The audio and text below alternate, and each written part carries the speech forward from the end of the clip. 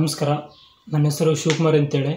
ನಾ ಕಂಡ ಕರುನಾಡ ಸಾಧಕ ಅಂತೇಳಿ ನಾ ಸರ್ ಎಂ ವಿಶ್ವೇಶ್ವರಯ್ಯನವರನ್ನು ವಿವರಿಸಿದ್ದೇನೆ. ಕಾರಣ ಏನಪ್ಪ ಅಂದರೆ, ಸರ್ ಎಂ ವಿಶ್ವೇಶ್ವರಯ್ಯನವರು ಸೆಪ್ಟೆಂಬರ್ ಹದಿನೈದು, ಹದಿನೆಂಟುನೂರ ಅರವತ್ತೊಂದರಂದು ಚಿಕ್ಕಬಳ್ಳಾಪುರ ಜಿಲ್ಲೆ ಮುದ್ದೇನಹಳ್ಳಿಯಲ್ಲಿ ಜನಿಸ್ತಾರೆ.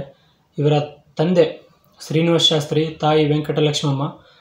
ಇವರು ಪ್ರಾಥಮಿಕ ಶಿಕ್ಷಣವನ್ನು ಮುದ್ದೇನಹಳ್ಳಿಯಲ್ಲಿ ಮುಗಿಸ್ತಾರೆ. ಇವರ ಮ ಪ್ರೌಢ ಶಿಕ್ಷಣವನ್ನು ಬೆಂಗಳೂರು ನಗರದಲ್ಲಿ ಮುಗಿಸ್ತಾರೆ. ಇವರು ಬಾ, ನಮ್ಮ ಭಾರತ ಕಂಡ ಅತ್ಯುತ್ತಮ, ಶ್ರೇಷ್ಠ ಮತ್ತು ಅತ್ಯಂತ ಮೇಧಾವಿ ಅಭಿಯಂತರರು. ಇವರು ಇವರ ಹುಟ್ಟುಹಬ್ಬವನ್ನು ಪ್ರತಿ ವರ್ಷ ಸೆಪ್ಟೆಂಬರ್ ಹದಿನೈದರಂದು ನಮ್ಮ ಭಾರತ ಮತ್ತು ಶ್ರೀಲಂಕಾ ಹಾಗೂ ಅಮೆಜಾನ್ ಇವು ಭಾರತದ ವ್ಯಕ್ತಿ ಅಂದರೆ ಕರ್ನಾಟಕದ ವ್ಯಕ್ತಿ ಸರ್ ಎಂ ವಿಶ್ವೇಶ್ವರಯ್ಯವರ ಹುಟ್ಟುಹಬ್ಬವನ್ನು ವಿಶ್ವ ಇಂಜಿನಿಯರಿಂಗ್ ದಿನವನ್ನು ಮಾಡ್ತಾರೆ. ಇಂಜಿ, ಇಂಜಿನಿಯರಿಂಗ್ ದಿನವನ್ನು ಆಚರಣೆ ಮಾಡ್ತಾರೆ. ಇವರು ಸಾವಿರದ ಒಂಬೈನೂರ ಆರರಲ್ಲಿ ಕನ್ನಡ ಸಾಹಿತ್ಯ ಪರಿಷತ್ತನ್ನು ಸ್ಥಾಪನೆ ಮಾಡ್ತಾರೆ. ಇವರು ಮೈಸೂರಿನ ದಿವಾನರಾಗಿ, ಅಂದರೆ ಶ್ರೀ ನಾಲ್ವಡಿ ನಾಲ್ವಡಿ ಕೃಷ್ಣರಾಜ ಒಡೆಯರ್ ಇವರ ಕಾಲದಲ್ಲಿ ಆರು ವರ್ಷಗಳ ಕಾಲ ದಿವಾನರಾಗಿ ಸೇವೆ ಸಲ್ಲಿಸ್ತಾರೆ. ಇವರು ಮೈಸೂರಿನ ದಿವಾನರಾಗಿ ಸೇವೆ ಸಲ್ಲಿಸಿದ್ದು ಮತ್ತು ಭಾರತದ ಆರ್ಥಿಕತೆಯ ಯೋಜನೆಯ ಪಿತಾಮಹ ಅಂತ ಕರೀತಾರೆ. ಇವರು ಆಧುನಿಕ ಮೈಸೂರಿನ ನಿರ್ಮಾತೃ ಅಂತ ಕರೀತಾರೆ. ಇವರು ನಮ್ಮ ಕರ್ನಾಟಕವನ್ನು ಇಡೀ ಭಾರತ, ಭಾರತದಲ್ಲದೆ ಮತ್ತು ಇನ್ನು ಪಾಶ್ಚಿಮಾತ್ಯ ದೇಶಗಳಿಗೂ ಕೂಡ ಇವರ ಭಾರತದ ಕೀರ್ತಿ ಮತ್ತು ಕನ್ನಡದ ಕೀರ್ತಿ ಪದಕಿಯನ್ನು ಆರಿಸಿದ್ದಾರೆ ಇವರು ಅತ್ಯಂತ ಮೇಧಾವಿ ವ್ಯಕ್ತಿ. ಇವರು ಕೃಷ್ಣರಾಜ ಸಾಗರ ಇವರು ಬೆಂಗಳೂರಿನಿಂದ ವಾಯುಕ್ಕಿರುವ ಕೃಷ್ಣರಾಜನ ಸಾಗರವನ್ನು ಅಣೆಕಟ್ಟನ್ನು ಸ್ಥಾಪನೆ ಮಾಡ್ತಾರೆ. ಇವರು ಸಾವಿರದ ಒಂಬೈನೂರ ಐವತ್ತೈದರಲ್ಲಿ ಇವರ ಜೀವಮಾನನ ಸಾಧನೆಯನ್ನು ಗುರುತಿಸಿ ಭಾರತ ಸರ್ಕಾರ ಇವರಿಗೆ ಭಾರತ ರತ್ನ, ಭಾರತದ ಅತ್ಯಂತ ಶ್ರೇಷ್ಠ ಶ್ರೇಷ್ಠ ಗೌರವ ಪ್ರಶಸ್ತಿಯಾಗಿರ್ತಕ್ಕಂಥ ಭಾರತ ಪ್ರಶಸ್ತಿ, ಭಾರತ ರತ್ನ ಪ್ರಶಸ್ತಿಯನ್ನು ಇವರಿಗೆ ನೀಡಿ ಗೌರವಿಸಲಾಗುತ್ತದೆ.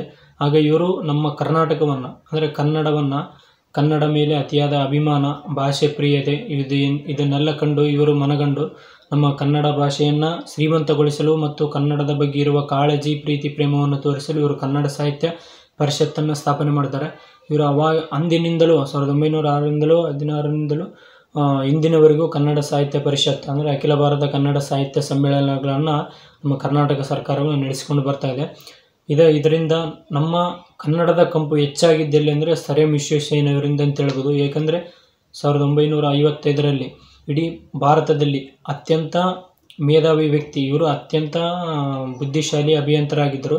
ಇವರು ಚರಂಡಿಗಳ ಅಧ್ಯಯನಕ್ಕಾಗಿ ಅಮೆಜಾನ್ ದೇಶಕ್ಕೆ ತೆರಳಿದಾಗ ಇವರ ಆಯಾ ಭಾರತಕ್ಕಿಂದ ಬಂದು ಹಿಂದಿರುಗಿ ಇವರು ಹೈದರಾಬಾದಕ್ಕೆ ತಗುಲಿದ, ಅಂದರೆ ಪ್ರವಾಹ ಪೀಡಿತ ಪ್ರದೇಶಗಳನ್ನು ಬ, ಪ್ರವಾಹ ಪೀಡಿತ ಪ್ರದೇಶಗಳನ್ನು ಅಧ್ಯಯನ ಮಾಡಿ, ಇವರು ಅಲ್ಲಿನ ನಿಯೋಜನೆಗಳನ್ನು ಮಾಡಿ, ಅಲ್ಲಿನ ಪ್ರವಾಹ ಪೀಡಿತ ಸ್ಥಳಗಳನ್ನ ಸಂರಕ್ಷಣೆ ಮಾಡೋದಕ್ಕೆ ಹಲವಾರು ಯೋಜನೆಗಳನ್ನು ಹಾಕೊಳ್ತಾರೆ. ಆ ಯೋಜನೆಗಳು ಯಶಸ್ವಿಯಾಗಿ ಮಾರ್ಪಂಡು, ಮಾರ್ಪಾಡುಗೊಳ್ತವೆ. ಅದರಿಂದ ಇವು ಆ ಒಂದು ಘಟನೆ ಕೂಡ ಸರ್ ಎಂ ವಿಶ್ವೇಶ್ವರಯ್ಯನವರನ್ನು ಮತ್ತೊಂದು ಉನ್ನ, ಉನ್ನತ ಸ್ಥಾನಕ್ಕೆ ಒಯ್ಯಿತು. ಆದ್ದರಿಂದ ನಮ್ಮ ಕರ್ನಾಟಕದ ಹೆಮ್ಮೆಯ ಪುತ್ರನೇ ಅಂತ ಹೇಳ್ಬೋದು. ಏಕೆಂದರೆ ಕನ್ನಡದ ಕಂಪನಿ ಇಡೀ ಭಾರತಾದ್ಯಂತ ಮತ್ತು ವಿದೇಶಾದ್ಯಂತ ವಿದೇಶಿಗರು ಕೂಡ ಭಾರತ ರತ್ನ ಪ್ರಶಸ್ತಿ ಪಡೆದಿದ್ದು ನಮ್ಮ ಸರ್ ಎಂ ವಿಶ್ವೇಶ್ವರಯ್ಯನವರನ್ನು ಹುಟ್ಟುಹಬ್ಬ ದಿನವನ್ನು ನಮ್ಮ ಇಂಜಿನಿಯರಿಂಗ್ ದಿನ ಆಚರಣೆ ಮಾಡ್ತೇವೆ ಅಂದರೆ ಒಂದು ಆಲೋಚನೆ ಮಾಡಬೇಕಾದ ವಿಷಯ. ಹಾಗೂ ನಮ್ಮ ಕನ್ನಡದ ಹೆಮ್ಮೆಯ ಪುತ್ರ ಹಾಗೂ ಕನ್ನಡದ ಕಂಪನ್ನು ವಿದೇಶಗಳಲ್ಲಿ ಪಸರಿಸಿದ ವ್ಯಕ್ತಿ, ಇವರು ಅತ್ಯಂತ ಮೇಧಾವಿ, ಇವರ ಇವರ ಅತ್ಯ, ಇವರ ಅತ್ಯುನ್ನತ ಕೆಲಸ ಮತ್ತು ಪ್ರಾಮಾಣಿಕತೆ, ಇವರ ಸರಳತೆ.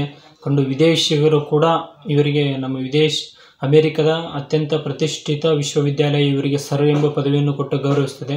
ಇವರು ಅಂದಿನ ಕಾಲದಿಂದಲೂ ಇಂದಿನವರೆಗೂ, ಅಂದಿನ ಕಾಲದ ಇಂದಿನವರೆಗೂ ನಮ್ಮ ಕನ್ನಡದ ನಾಡಿನ, ಕನ್ನಡ ನಾಡಿನ ಮತ್ತು ಕನ್ನಡದ ಶ್ರೇಷ್ಠತೆಯನ್ನು ಎತ್ತಿಡತಕ್ಕಂಥ ಒಂದು ಒಬ್ಬ ವ್ಯಕ್ತಿ ಹೆಸರು ಅಂತಲೇ ಹೇಳ್ಬೋದು. ಏಕೆಂದರೆ ಕನ್ನಡ ನಾಡಿನ ಶ್ರೇಷ್ಠ, ಅತ್ಯುನ್ನತ ವ್ಯಕ್ತಿ ಹಾಗೂ ಭಾರತ ರತ್ನ ಪ್ರಶಸ್ತಿ ಕೂಡ ಪುರಸ್ಕೃತ ಮೊಟ್ಟ ಮೊದಲನೇ ಕನ್ನಡದ ವ್ಯಕ್ತಿಯಾಗಿದ್ದಾರೆ ಇವರು ನಮ್ಮ ಕರ್ನಾಟಕದ ಕಂಪನ್ನು ವಿದೇಶಿಗರು ಪ್ರ, ಪಸರಿಸುವಲ್ಲಿ ಭಾಳ ಪ್ರಮುಖ ಪಾತ್ರ ವಹಿಸಿದ್ದಾರೆ ಅಂತ ಹೇಳ್ತಾ ನಾನು ಮುಗಿಸ್ತಾ ಇದ್ದೀನಿ. ನಮಸ್ಕಾರ.